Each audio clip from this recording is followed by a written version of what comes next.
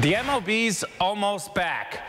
Well, maybe. In these crazy times, you just never know. But the 60-game regular season scheduled to start in less than two weeks. What better way to prepare for it than the I-70 series? Today, the Cardinals and Royals officially announced an exhibition game for July 22nd at Busch Stadium. Cardinals reliever Jordan Hicks won't play in that game or any games this year. He's decided to opt out of the season. Hicks has type 1 diabetes and would be at a higher risk for COVID-19 complications. He's also coming off Tommy John surgery. Hicks posted a 3.14 ERA and had 14 saves last season. Obviously, this is subject to change, but for now, the MLB is still looking at July 23rd as opening day, with the Cardinals set to host the Pirates on July 24th.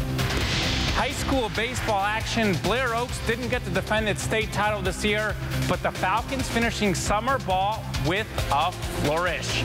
They scored seven runs in the first, picking things up when we got there in the second. Look at this nice double play turn for Mexico, but Gavin Weckenberg scores a four-run second, made it 11-0. Harrison Lear tossed four scoreless innings. Blair Oaks wins big, 11-0. More high school baseball. Harrisburg missed out on some incredible opportunities because of COVID-19. But as I show you, the Bulldogs senior class is still going out on top. Harrisburg baseball was hoping to make the Final Four in 2020, but COVID-19 canceled those plans.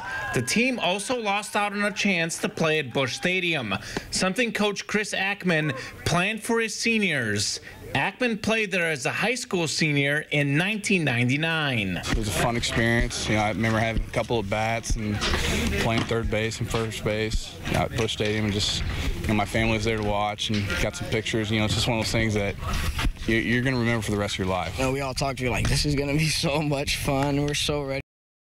Lifetime Cardinals fans. It's really tough because like you dreamed to play there one day, you know? It's tough. I was really looking forward to it, of course. Uh, we, we put in the work to raise the money to go there. Um, just unfortunately didn't work out. The Harrisburg seniors missed out on an opportunity of a lifetime to play at Busch Stadium, but the future is bright with three future college players. Jonah Sanford will play at William Jewell while Braden Hudson's headed to Missouri Western, both Division II schools. And Dustin Gibson will play in junior college at North Central Missouri, a high school of just 161 students, but three future college baseball players. You know, there's not a ton of kids that have gone through Harrisburg that have gotten a chance to play college baseball, so having three in one class and, you know, all of us being best friends, it's a, it's a big deal, and we take a lot of pride in it. It's really special because that's what you dream about, you know, going to the next level. It was really special. Um, I knew all growing up playing with these guys, but we all played together and really worked on it, and really worked hard to get where we are. It's a program builder. You know, it's can use for the upcoming kids. Say, hey, look, these three, the work they put in. A legendary senior class, leaving a lasting legacy and finishing with the winning record in summer ball.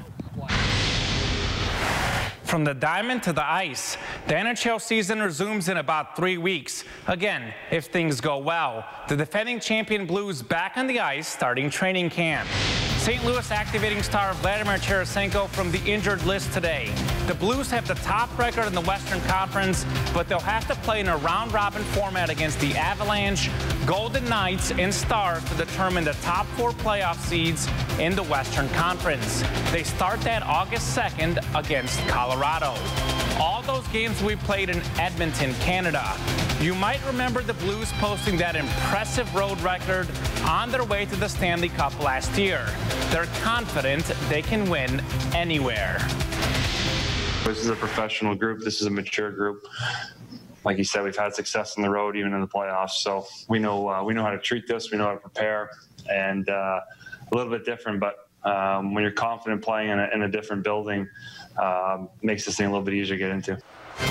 All NHL playoff games will take place in Canada, with the Eastern Conference teams playing in Toronto and the Western Conference in Edmonton. The conference finals and Stanley Cup final will also be in Edmonton. And finishing with NFL news, the Redskins logo you see behind me won't exist anymore. The team officially dropped the name today. Washington had been known as the Redskins for the past 87 years. They haven't decided yet on a new name. That's sports.